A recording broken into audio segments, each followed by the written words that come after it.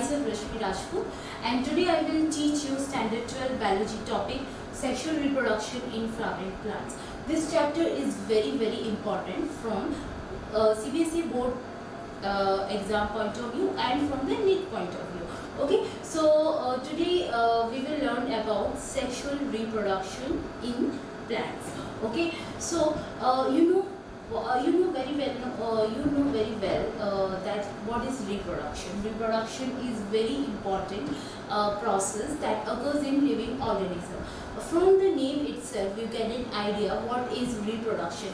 Reproduce. That is it produce again and again. By this process individuals can produce again and again. So every living organism to uh, if uh, to increase their number in that but uh, to, in population they follow this process that is reproduction.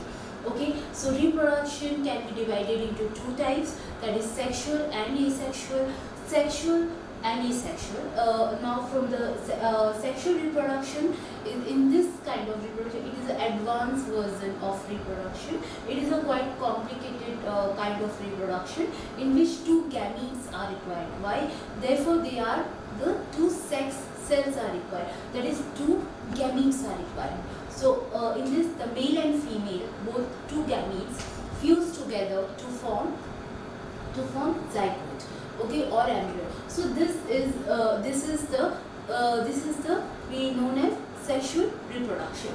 Okay uh, in asexual reproduction you know very well asexual reproduction that is it doesn't require any kind of gametes. The cell itself go into the process of reproduction. Uh, the various examples you know that is a binary fission that itself the individual gets split into two and this is also one of the uh, methods of asexual reproduction. But we are not focusing on that asexual methods of reproduction. We will focus on sexual reproduction in plants okay so what is uh, in flowering plants so where the sexual reproduction occurring in plants so sexual reproduction occurs in flowers okay? So flower what is flower? Flower is a reproductive organ of flowering plant. So why reproductive organ? Because uh, see in your plant there are two parts okay? There are two parts a vegetative part and the reproductive part. Vegetative part consists of your stem branches leaves okay? But in the reproductive part, it's a flower. Why? Because it contains both male and gametes are production in that kind of structures. Okay, so this is the unit. This is the flowers are the reproductive unit of flowering uh, of any plant. Okay, so they uh, they carry out the process of reproduction for plants. Like the leaves carry out the process of photosynthesis for the food production. They are the kitchen of the plant. So, so like this this uh, uh, your uh, flower is the reproductive unit. They produce more and more. They take the charge of plants to produce more and more kinds of plants like that okay so so that's why it is very important uh, for the um, uh, plant to have these uh, kind of structures. Okay so why reproduction is very important? Why sexual reproduction is very important?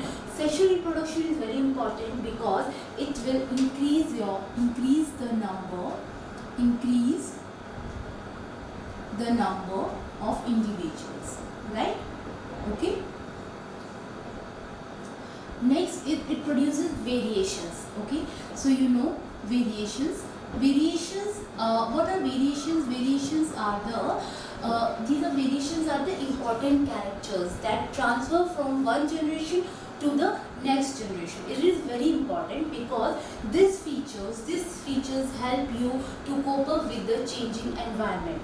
If the sexual reproduction thing will not happen the, the organism will not survive because this is a variation that makes the organism to cope to cope up with that environment. So variations produces changes some necessary changes to the to the required organism okay so this process so this process is only possible through sexual reproduction. Okay because here the uh, things these, are the cells the male and female. The sex produce a certain kind of characters which got mixed which got uh, mixed over that time period and this causes a variations to be happened. Okay so uh, now we will uh, study about the reproductive parts uh, reproductive parts of flower. Okay so this is your uh, you have studied about this uh, flower very very well in your earlier classes. Okay so basically reproductive parts of flower. So i will make you learn that important parts of flower just from the like this you can see uh, from the bottom i will just introduce. Like this this is the stalk okay? Stalk uh, what is the stalk it holds the flower. Uh, it holds the flower to the plant.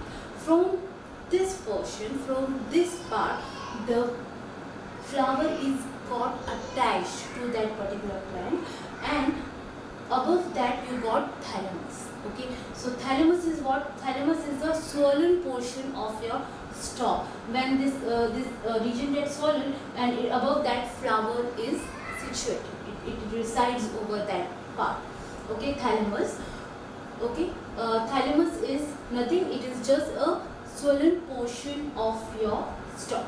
Okay now just above what you get you get sepals sepals are generally green in color okay? So what what is the major role they are actually they are playing a very important role when the flower is in a birth stage. You know very well children that uh, when you are baby or the baby uh, needs a special care right? When you are young ones you, uh, you need special care. So when flower is in young one stage in a very uh, mm, uh, that it uh, young they need special care. Okay so for that special care these sepals provide a uh, extra kind of protection to when the flower is in bud stage. Okay so uh, above that uh, sepals uh, you get a uh, you get petals. Okay uh, petals petals you get, get a petals. My petals petals is very large part of any flowering plant and it plays a very important role because it is colorful okay it is quite attractive part of any plant okay or uh, you can see here petals are something that uh, that is very colorful and it, it makes uh, it makes you very uh, part uh, uh, it attracts insects for the pollination kind of thing. By the colorful part the insects got attracted and the pollination process happens in plant by due to one of that reason. Okay now next is uh, you get your stamen okay? What is stamen stamen is the male reproductive part of the flowering plants okay? So stamen is a male reproductive plant of uh, now in stamen you will see that anther okay? So this is a male reproductive part of if if if i enlarge this portion if i see separately this portion this is the a very enlarged view of any uh, this is your uh, stamen portion here you can see uh, anther. It's, it's a structure. If you cut, if you uh, if you cut that, you will see these are small uh, uh, particle kind of structure which are known as pollen grains. Okay, and this is the male gamete, and these are known as male gametes of any flowering plant. And this anther is hold over a very thin kind of stalk which is known as filament. Okay, filament now uh, uh, this is the male part of any flowering plant which is known as stamen. Okay. Uh, now we will study about the female, female reproductive uh, part of any flowering plant that is known as carpel. Okay, so what is carpel? Carpel is the uh, female uh, portion that it consists of female reproductive parts. Like what are these? These are the if, uh, if I getting enlarged view of your uh, this uh, carpel thing, you get a uh, stigma. Okay, this is uh, this is the upper portion of stigma. Okay, now below that it is a style. Okay, and below this you get a ovule. Okay, so ovule here you find it. These are the small uh, spherical structures. These are the ovules. Okay, and this this basal portion is known as ovary okay so once again i will just revise you uh, this uh, part once again okay? So just focus on this uh, flower okay? So this is your flower. Flower is uh, you can see here this is a uh, stalk. This is the base.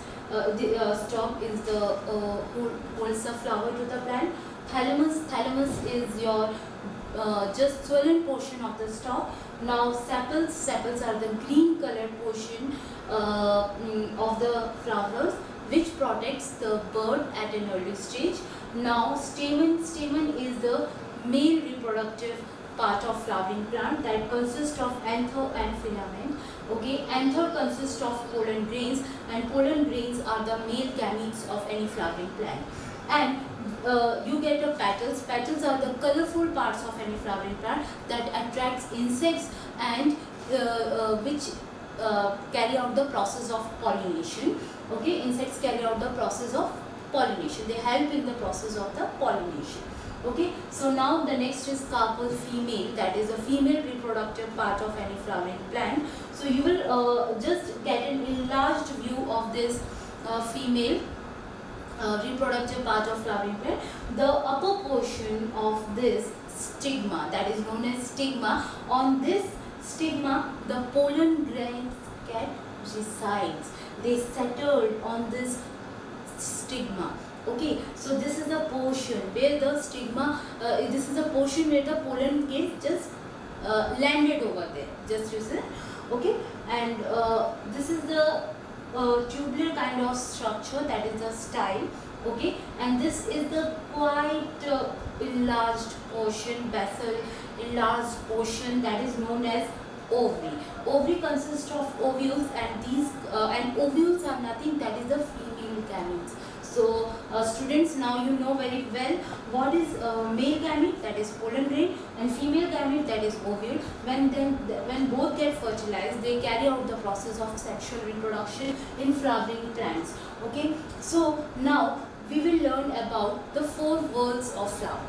Okay. So what is four whorls of flower? Whorls four whorls of flower why I am telling you because if you study the structure of flowers, flowers are occupied, occupied by three kinds of structures. Okay, if you come across, this is the first. If you if you see a flower, if you come a flower structure, you will. This is the first portion you get come across. Okay, so first is the calyx. Okay, so calyx is the very first outermost wall of any flower, wall of any flowering plants okay so what is calyx? Calyx is the green colored sepals okay? And sepals are the members of these whorls so uh, uh, children just uh, just try to understand.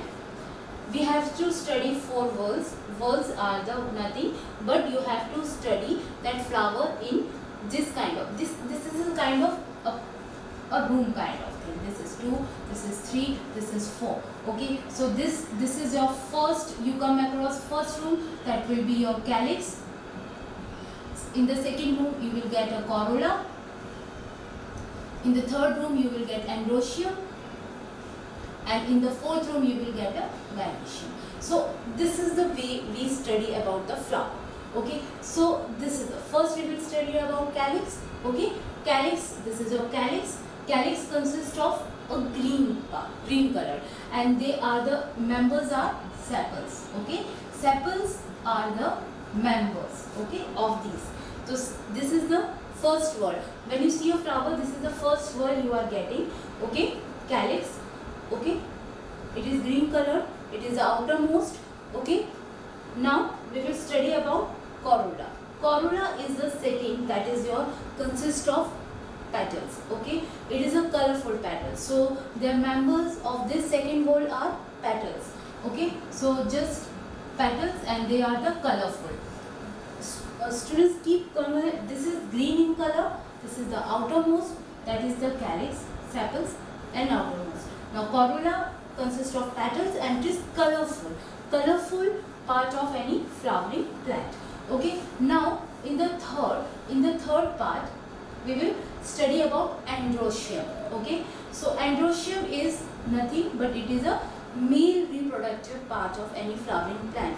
So when you uh, uh, come across it is the male reproductive part of flowering plant okay? So fourth is the gynoecium. You will study about gynoecium. Gynoecium is the female and this is the innermost. This is the part which is just very inside of any flower. So this is the only the part which is the very innermost and this is inside of the flower. That is the gynoecium. That is a female reproductive part of any uh, female reproductive part of any flower okay so now you what is gynoecium gynoecium is female female you know very well what is female reproductive part this is the this is your female reproductive part okay? Now uh, understood? And this is your male reproductive part okay? So this is how you are getting into 1 2 3 and 4 these are the four balls first calyx second corolla third is androecium and fourth one is gynoecium okay? This is the outermost. This is the innermost. Uh, you know very well. Now the terms are referred. Gamo now this on the basis of these uh, now uh, arrangement of uh, sepals and petals we have uh, two different terms. Gamo sepal plus. Now gamo gamo means joined together. Okay? When these uh, when these individuals suppose we are i am taking example of calyx uh, members that is sepals when these sepals are joined together. When these sepals what i am saying when these are joined together they are not separated. Okay they are just joined together. They are known as gamosepalous okay so they are joined together. You can't divide them. So that case is known as uh, uh, in many flowers you have seen like So this kind of thing is you have seen it is a gamosepalous okay? Gamosepalous kind of thing. Because here this, they are no striation you can't divide it okay? So they are joined together. They are known as gamosepalous and in same in the case of petals. When the petals are joined together they are not easily separated. They are not presenting individuals. They are known as gamopetalous and when they are uh, uh, the, when they are representing you separately. Okay this is your gamo kind of thing. Okay and in case of poly these uh,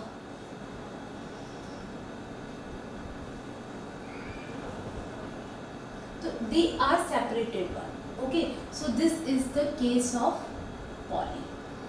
Okay these are the separated they they can be easily separated. So this is the case of poly. When this kind of uh, uh, sepals you can see this is a polysepalous and when you see such kind of petals they are known as polypetalous okay so they are the individual which are very much easily separated. Okay so these are the uh, you can get it in uh, polypetalous and uh, polysepalous and polypetalous okay students uh, so this is today we will learn about the basic structure of uh, uh, flower okay? So i give you a brief introduction about flower their structures and now uh, in the next lecture we will study about the fertilization how the process of fertilization occurs in flowering plant okay? So what are the main events